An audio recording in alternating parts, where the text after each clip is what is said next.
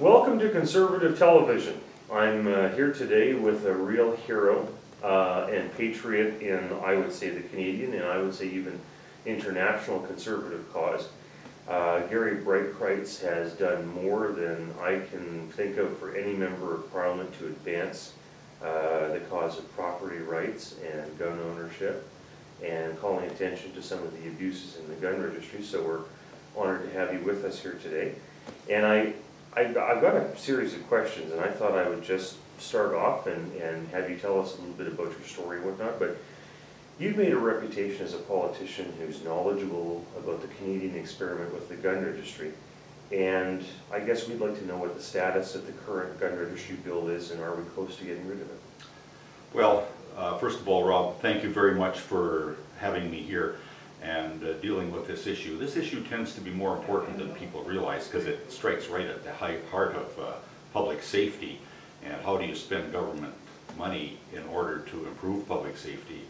Uh, dollars are scarce and, uh, you know, if you take a look at this issue, uh, I think it would, you know, a close look at this issue, you would really change your mind as to uh, what you feel the government should be doing in this regard if you support the gun registry.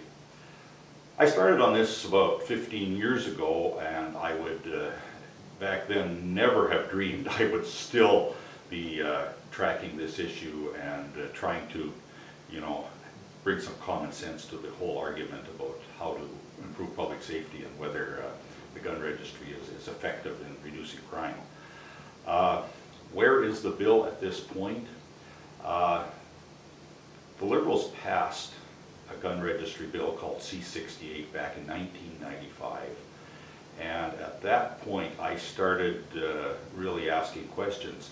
I actually did a 180 degree turn on this. To begin with, I bought the Liberal line that the gun registry was gun control. Was it Allan Rock who brought that in? Allan Rock. I remember that. Yes, oh yes, Yeah, yeah, yeah. Uh, a lot of people remember Yeah, that. yeah. Uh, and I, first of all, thought, I bought the line, uh, you know, that this was gun control. And then I had some constituents challenge me on this at a meeting. Uh, you know, I was a young, new MP uh, many years ago, and uh, they said, Garry, why don't you take a little closer look at this, okay? Because uh, we can't see how, you know, laying a piece of paper beside a gun is going to improve you know, the lives of anybody. Uh, It's just a paper pushing exercise, won't affect the criminal element at all. And I, I, I made a commitment at that point, maybe a little bit foolish to, to, to say I'm going to take a closer look at this. But that was the beginning of a long, long journey. And in the last fifteen years, Um, I just want to mention something about that journey. I've been in- in this business for 13 years, and you were elected a term before me, so I, I, I appreciate the length of the journey. Anyhow, go on, sir. Right. Anyway, I had a, a fellow uh, working with me, Dennis Young, and the two of us were like uh, a team on this issue. We put in over 550 access to information requests. Some people are proud if they put in five or 10. Like you, you, the phenomenal amount of work it took to uncover this boondoggle is, is just mind-boggling because, uh, first of all, they would give us blacked out pieces of paper. They, uh, they, they wouldn't uh, let us know what the costs were. They claimed it was cabinet confidence. But we suspected right from the get-go that this thing was gonna cost a lot more than two million dollars to taxpayers.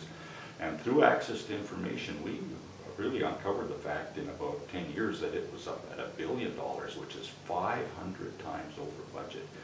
And uh, I don't think there's another government program in history that I know of at least that's gone five hundred times over budget. So we just kept tracking it, you know, we put in another access to information request, uh, we had a few bureaucrats that slide a little brown envelope under the door giving us tips as to where to look.